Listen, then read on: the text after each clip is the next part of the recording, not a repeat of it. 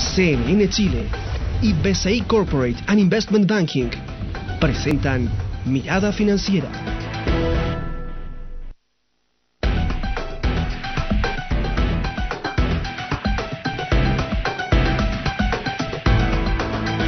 ¿Cómo están? Bienvenidos. Comenzamos Mirada Financiera, un programa de BCI Corporate and Investment Banking. Hoy finalizó la reunión de política monetaria de la Reserva Federal que decidió mantener los estímulos a la economía estadounidense.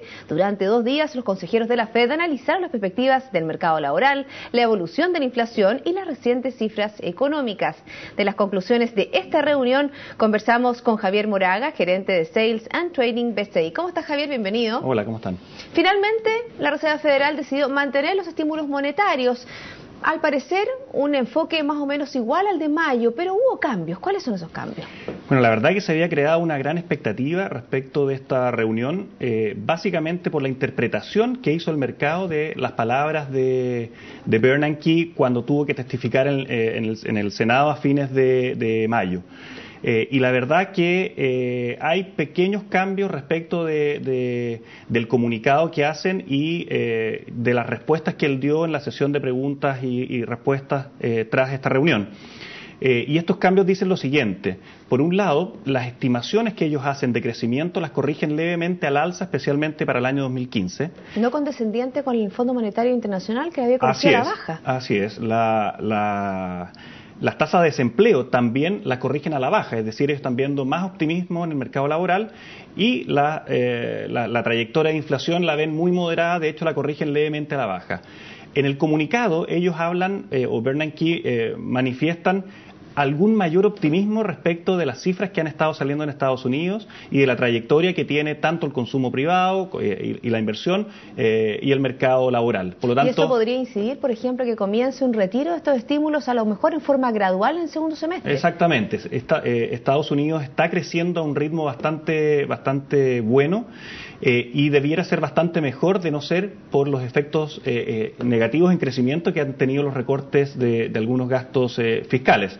Eh, y probablemente, y de hecho Bernanke, que es otro cambio que hace, se manifiesta eh, específicamente respecto del timing eh, en el cual ellos retirarían el estímulo monetario. Y lo que dice Bernanke es que eh, probablemente hacia fines de año, o más bien mm, yo lo interpreto como durante el segundo semestre, probablemente en el cuarto trimestre, ellos comiencen a disminuir el ritmo de inyección monetaria que están haciendo. Es decir, Pero no en forma de 85 mil millones a cero, sino que comienzan a reducir de poco. Forma paulatina y probablemente rebajen ese monto de compras de instrumentos financieros, que la contrapartida que tiene es que ellos dejan esa liquidez en el sistema financiero, eh, que reduzcan esos montos paulatinamente hasta llevarlos a cero eh, probablemente eh, en el inicio del año 2014. Hablemos de los efectos, porque la verdad que luego de esta conferencia de prensa de Ben Bernanke, las bolsas hicieron un cambio, los bonos del Tesoro aumentaron de una manera muy importante, también se pueden ver efectos en el dólar.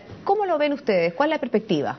Bueno, las reacciones de los mercados dicen que eh, de alguna forma los mercados están de acuerdo con lo que, con lo que dice Bernanke, pero generan alzas importantes en la curva de, como reacción inicial al menos, alzas importantes en la curva de rendimientos de bonos del tesoro.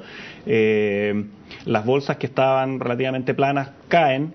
Eh, y las monedas eh, se deprecian frente al dólar. ¿Se puede haber una baja al dólar en los próximos días en nuestro país? Yo creo que no. Lo que vamos a ver probablemente es, es, que el dólar se fortalezca a nivel global. ¿Por qué? Porque básicamente lo que está sucediendo es que la economía americana está dando señales de fortaleza.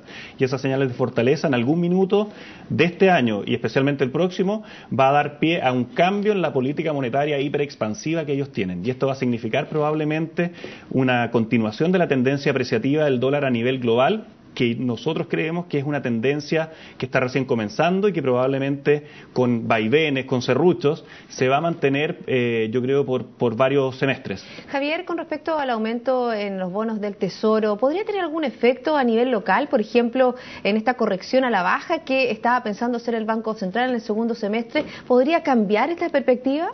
Sí, tiene, tiene, tiene, la, tiene la potencialidad de, de, de determinar, de hecho, eh, o de modificar lo que el Banco Central tenga en mente. ¿Y por qué sucede esto? Porque si bien la economía chilena en el primer trimestre dio señales de debilidad más allá de lo esperado, y estas señales al parecer se están eh, prolongando ya en este segundo trimestre. Eh, el Banco Central ya, digamos, anunció que los próximos movimientos de la, de la, o las próximas reuniones de, política monetaria, los movimientos probables son mantener la situación como está, es decir, mantener la tasa en 5% o rebajarla. Y de hecho las señales específicas en algunas entrevistas de, consejeros del Banco Central apuntan a una baja de tasa de interés si es que esta debilidad de la, economía local continúa. uno de los efectos que ha sucedido es que el mercado ha descontado que el Banco Central va a recortar la tasa entre dos y tres veces eh, durante los próximos seis a nueve meses. Y eso ha significado, a su vez, que el tipo de cambio eh, ha, eh, iniciado una, una, tendencia de depreciación por un menor diferencial de tasa contra la economía americana. Eh, y por lo tanto, si las tasas de interés suben muy fuerte en Estados Unidos, este diferencial de tasa se va a achicar aún más, generando presión alcista adicional en el tipo de cambio local. Vamos a ver qué pasa, Javier, en los próximos días, pero por lo menos ya hay mayor certidumbre, porque obviamente que había generado un gran movimiento, una gran expectativa ante esta reunión de la Reserva Federal del mes de junio. Que estés muy bien, muchas gracias. Ok, muchas gracias. La invitación a todos ustedes es a seguir en compañía de CNN Chile. Hasta pronto.